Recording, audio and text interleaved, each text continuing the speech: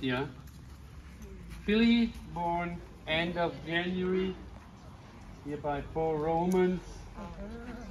Very well producing stallion in Germany For Romance. My first Roman is uh, John Schufreund and G-Line. And the mother here was uh, my level dressage by Quando Quando. Uh, this mare with substance, size and frame produced a very pretty filly, very feminine, very pretty face, good top line, long legs, a bit on the lighter side in foundation, but a good mover here with a really good trot with swing, very nice canter, right away underneath, and always balanced changes, a really good looking foal um, that earns premium today. Congratulations, Magnolia Horses. And it's cool, that thing.